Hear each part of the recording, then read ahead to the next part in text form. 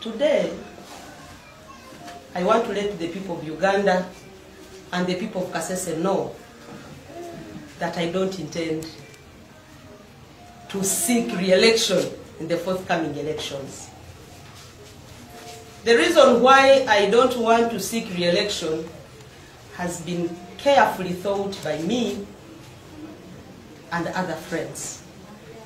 But I want to thank all Ugandans, my colleagues, the, member of, the members of parliament from Kasese specifically, and the other members of parliament from other areas of Uganda, including those in the NRM, who on many occasions have been on the side of Ugandans. We know we have fought many battles together. We have done so much together. But I'm also aware that there are times when I have not done what you thought I should do.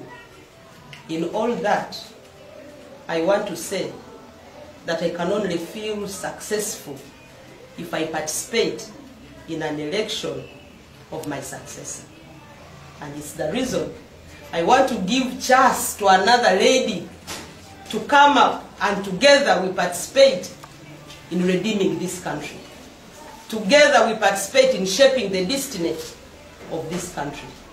I do believe that you can't give what you don't have.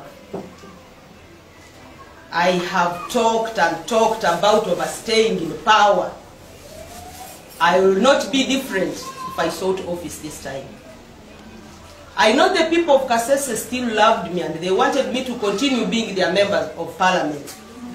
And it's a job I loved doing because I knew I had the backing of my people and I had their support.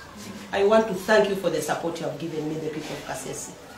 I want to thank God for making it possible for me to serve you diligently with dignity, with honor and respect. I can